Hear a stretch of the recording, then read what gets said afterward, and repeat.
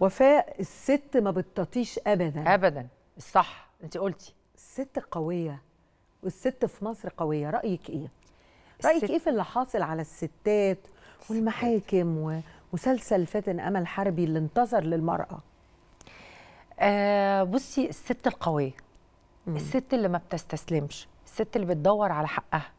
وعايزة أقول لك حاجة اللي له حق وما ياخدوش ما يستحقوش لأنه مش بتاعه. مم. طول ما انت ليكي حق لازم تفضلي وراه. حتى لو الحق وداه للمحاكم خلاص يبقى إحنا بالود. ما ينفعش. باللسان. ما ينفعش. بقبل كل ده وده الدين. ما حدش عنده ضمير. يبقى فيه العدل أساس الملك رأيك إيه في نسبة الطلاق؟ طلاق بقى كتير قوي. نسبة عالية جدا. شباب وأجيال والأعمار. كانت زمان في العمر الكبير شوية المتوسط دلوقتي في العمر الصغير. رأيك إيه؟ عشان بيستعجلوا. في إيه؟ في إنهم بسرعة عايزين ندخل بيت.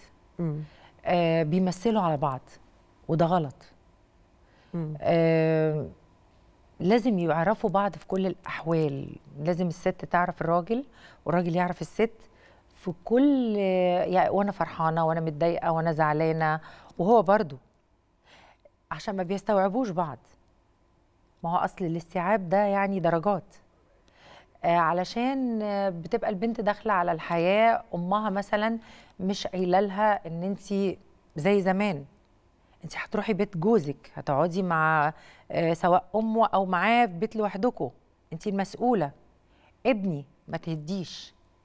مفيش أم بتقول لبنتها إن البنى صعب جدا. الهدد سهل جدا. بخبطة توقعي عمارة. خبطة واحدة. حقيقي. مم.